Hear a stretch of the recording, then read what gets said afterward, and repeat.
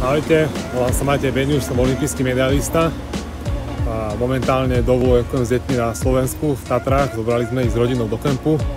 Skúste aj vy tento rok dovolenkovať s deťmi, lebo si myslím, že dovolenka na Slovensku je dobrý nápad. Čaute.